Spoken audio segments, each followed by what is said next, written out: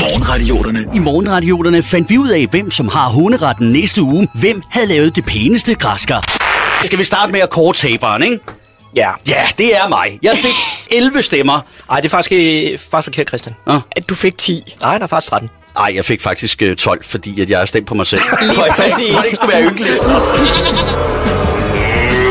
Nej, det er ikke skidt det her. Det er meget, meget, meget skidt. Ja, jeg er en taber. Men øh, lad os øh, komme til sagens kerne. Lars, tillykke med det. Du har vundet, gamle Jas. Du har hunderetten. Det har jeg. Lars, de er allerede begyndt at lugte. Jeg står her ved siden af græskaren og ikke lugte. Men der er faktisk mug allerede. Det tænker jeg trækker ned. I hvert fald 10 stemmer. Se alle billederne inde på vores Facebook-side, og glæd dig til, at vi er tilbage igen mandag, når klokken bliver 6 i næste uge. Der ryger vi tilbage i skolen. Morgenradioterne med Lars, Christian og Signe. I morges i morgenradioterne snakkede vi om bryllupper, og Lars, han fortalte om dengang han friede. Det var faktisk i et badekar.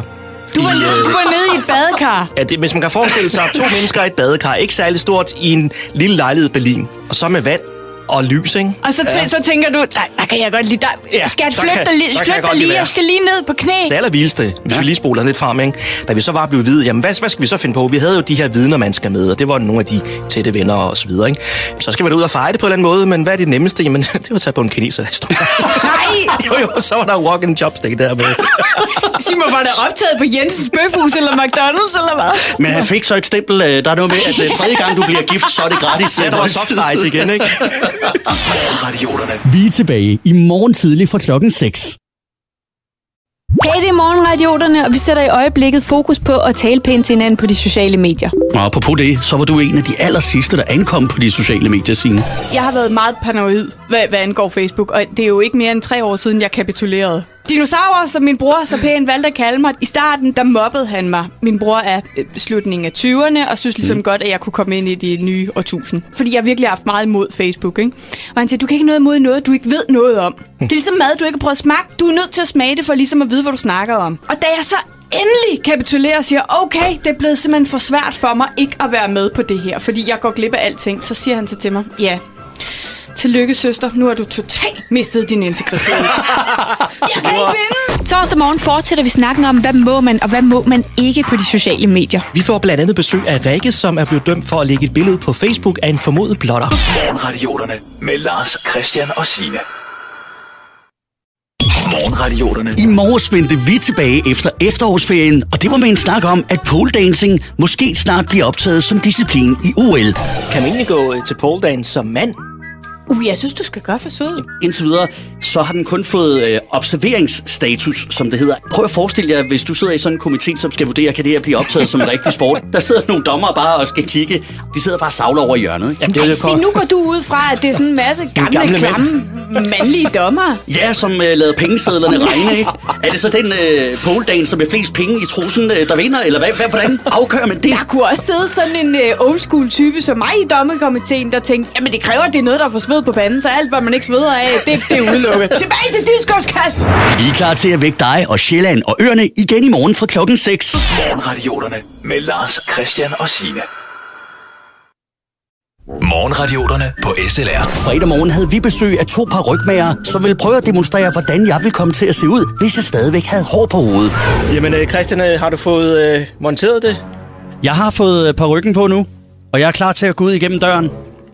Skal jeg Kom komme så ud! Kom ud. Må vi se din extreme makeover? Yes! Spring ud. Nu med hår! Hold da op. Er det, er det så slemt? Nej, det... Du ligner ham der for det der TV3-program, hvad nu det hedder. Det var de For samme... lækker til love. Barney fra Flintstones. Ej, hvor er det fint. Se billeder og videoer på SLR's Facebook-side, og lyt med igen mandag morgen, hvor vi er tilbage. Morgenradioterne på SLR. Tirsdag morgen fik vi sendt Lars' polo til de evige bilmarker. Vi kørte til skrothandleren. Der var både tårer, taler og sækkepiber. Kære Polo. Nu må vores veje skilles. Jeg troede, det ville være min kørsel, der er blevet endeligt. I stedet, der bliver det rusten. Farvel, gamle ven. Se hele sørgeoptoget på SLR's Facebook-side. Morgenradioterne. Vi skal til en ny feature her i Morgenradioterne. Ja, men Lars han skal simpelthen blæse weekenden i gang. På et eller andet øh, tilfældigt instrument, eller et, et, et horninstrument går ud fra, det er hver uge, som du skal overraske os med. Ja, starter weekend med et blæs. Ja, det kan du sige, det Altså- kan du sige. Skulle du hive den dernede, Lars? Nej, nej, instrumentet. Ja, Ja, jeg ved ikke, ja. hvad I tænker på. Skal vi prøve? Lad os høre. Lad weekenden starte!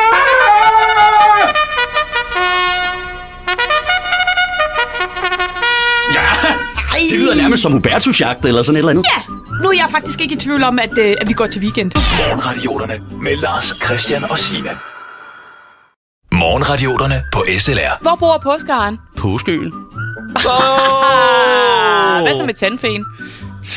Øh, øh, øh, Tanarif. Tand, Ja, ja, ja, ja, der var den. Hey, hvor er det skidt, det her. Ja, der går ren linje 3 i den nu. Morgenradioterne med Lars, Christian og Signe. Vi er klar til at påskehygge med dig igen i morgen tidlig fra klokken 6. I morgenradioterne har vi virkelig gjort alt for at påskehygge. Blandt andet forsøgte vi at puste æg, og det gik, mm, lad os bare sige, mindre godt. Nu kan jeg mærke, der var... For fanden. Ej, Der er jo en, der er Signe. Men jeg holdt lidt, jeg kan ikke... Øh, Har du ødelagt ægget nu? i lidt. Nå, jeg prøver at puste alligevel. Jo. Nej.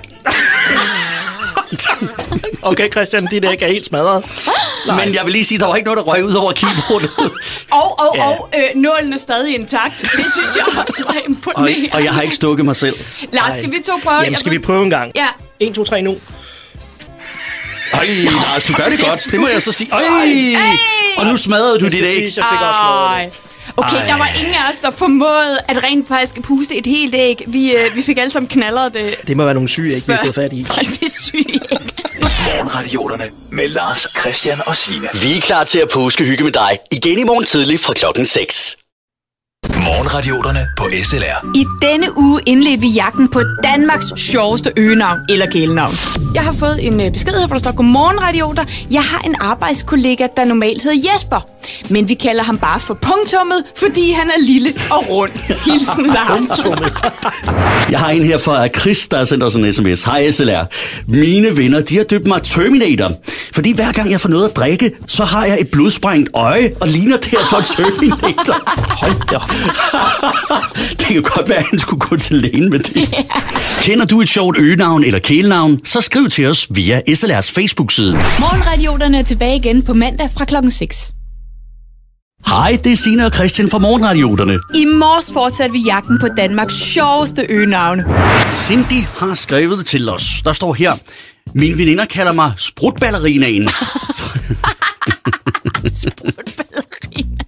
For når jeg er i byen og får lidt at drikke, så begynder jeg at danse for mig selv og dreje rundt. Det ser nok lidt mærkeligt ud. Ej, hvor skægt. Sprutballerinaen.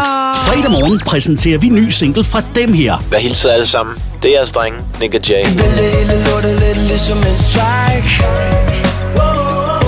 Vi har levet vores liv lidt ligesom en leg Vær med i morgen fra klokken 6 og hør Nick og Jays nye single, Det er den vibe. Vi høres ved.